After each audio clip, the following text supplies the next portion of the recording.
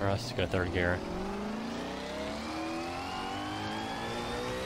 Alright, let's get this. Avoid any traffic.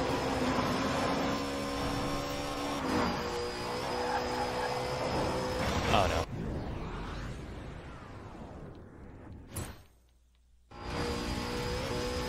I'm trying to stay in the middle of the lane. Not working out.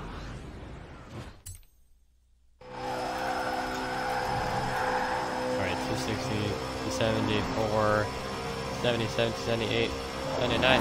Oh my. was paying was not paying attention. Go to the right side. 280, 281, there we go. The 280 in this car if you take that direction. So let me show you the tune to this now. Alright, so let me show you the upgrades to this. What I have on it right now. So, keeping on wheel drive, just gonna say that.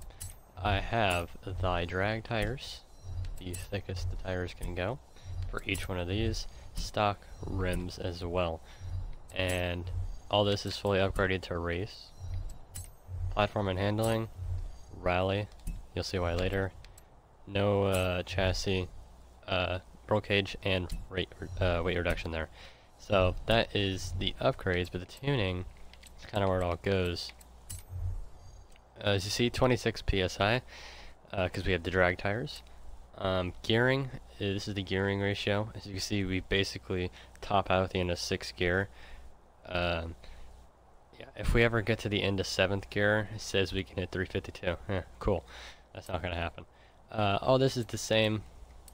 Uh, this is everything is basically just softer to allow the car to uh, turn without losing miles an hour. Uh, all this is soft, and then we slam down the rally suspension. Um, we use the rally suspension though to get a better steering angle and uh, be able to make it more soft because that's what we want there. Uh, and then yeah, I said slam it down. And all this is as soft, not as soft as it can go, but soft. Aero, completely set to speed. Brakes, I put the brake pressure down.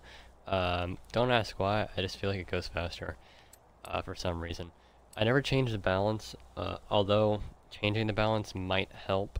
Uh, it depends. And differential is 75-75. I was going to do 60-10, but it went faster in 75-75. So that is the tune, that is the car, Koenigsegg Agera RS. Have fun with it.